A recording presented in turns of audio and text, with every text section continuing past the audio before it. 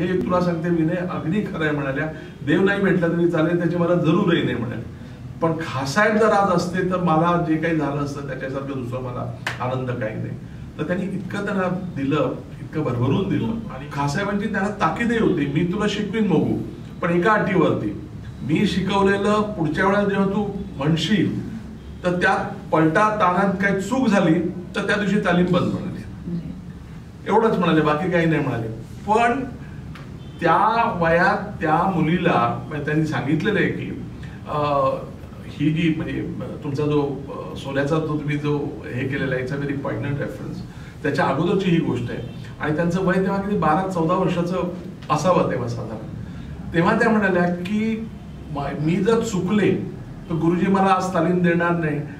ह्याचं त्याला इतकं म्हणजे महत्त्व होतं की माझी तालीम माझी एक दुसरी चुकली तर काय होईल? ह्याचं इतका त्यांच्या मनात गणित होतं. की चुकायचंच नाही. चुकायचंच नाही. कारण चुकले तर तालीम जाणार. आजची तालीम गेली तर माझं ट्रेजर जाणार हे त्या वयाच्या मुलीला बारा तेरा वर्षाच्या मुलीला सेन्स यावा. आणि मग ते इन्कल्केट करण्याकरता how internalise how she internalise it त्याच्याकरता म्हणायचे की मी चुकले. तर जिथे चुकायचे तिथे मी माझ्या मांडीला चिमटा काढायचे. त्याचा डाग आठ आठ दिवस जायचा नाही म्हणाल्या सेड इट नव्हतं तर दिस इज समथिंग हे त्याला आपण सिद्धपुरुष म्हणतो. तशा या सिद्धपुरुषांच्या रांगेतल्या होत्या त्या.